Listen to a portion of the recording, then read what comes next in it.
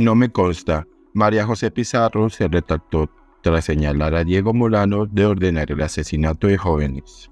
Después de la acusación, el exministro de Defensa Diego Molano decidió presentar una demanda contra la senadora María José Pizarro por los delitos de injuria y calumnia.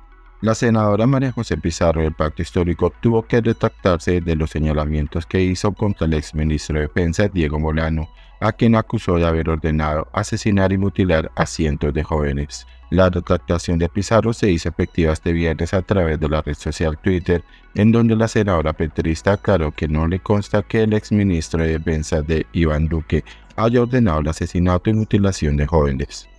Además, Pizarro tuvo que echarse para atrás frente a esos señalamientos después de que Molano la denunció penalmente ante la Corte Suprema de Justicia, reclamando que su acusación no tenía sustento, por lo que la demandó por los delitos de injuria y calumnia. Tras esta denuncia presentada en mayo ante el alto tribunal, la senadora y el exministro de Defensa tuvieron una audiencia conciliatoria en la Corte Suprema, en donde acordaron que ella se retractaría de los señalamientos de los que no tenía pruebas hemos llegado a un acuerdo con el señor Moleano y en los próximos cinco días se hará efectivo el acuerdo al que hemos llegado. Hablamos de dos personas sensatas, así que en el marco de ese diálogo llegamos a un acuerdo sin mayores problemas, expuso Pizarro esta semana. Según trascendió, la senadora del Pacto Histórico acordó con Molano que se retractaría de sus afirmaciones con el fin de cumplir con la conciliación tras la denuncia penal que llegó hasta el alto tribunal por esas acusaciones. Yo, la senadora María José Pizarro, aclaro y rectifico que no me consta y no tengo prueba de que el señor Diego Molano haya ordenado la mutilación y o el asesinato de jóvenes como lo manifesté en el tuit publicado en mi cuenta el 5 de mayo del 2023.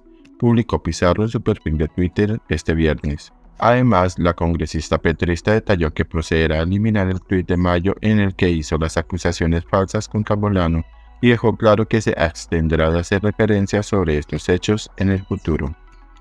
En consecuencia, hemos acordado la conciliación. Primero, eliminar el tuit del 5 de mayo de 2023. Segundo, abstenerse en el futuro de hacer referencia respecto del señor Bolano sobre estos hechos. Y tercero, publicitar la presente aclaración por los mismos medios que realicé la afirmación, apuntó.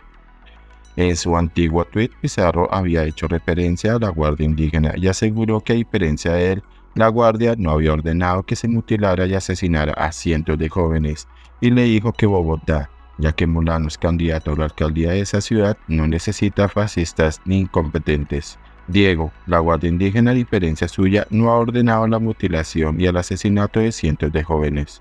Bogotá no necesita fascistas ni incompetentes, necesita liderazgos democráticos. Talante que jamás usted demostró siendo mi indefensa, dijo Pizarro. Ante la gravedad de los señalamientos, Molano acudió ante la justicia para aclarar esta situación y tras la conciliación planteó que la decisión marca un precedente, según él, para que este tipo de afirmaciones injuriosas no deben ser utilizadas en el debate político.